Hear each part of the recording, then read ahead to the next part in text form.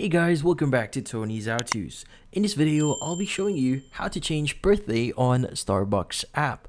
But before we start, hurry up and check out our latest offer just under this video. So let's get started. So how do you change your birthday on the Starbucks app?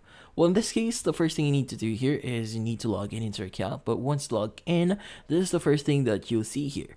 Now, at the top right of your screen, you should be able to see a three bar icon. Go ahead and click on it.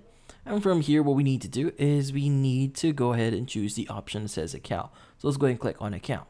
Now what we need to do next is we need to look for the option that says personal info. Now in this case, go ahead and click on it again.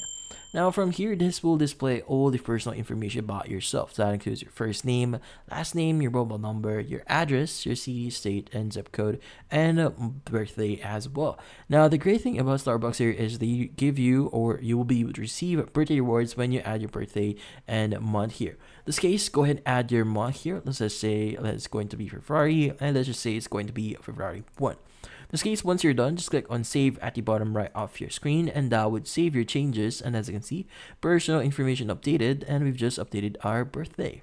And that's about it. So, if you found this video helpful, hit the like and subscribe button and watch our next video.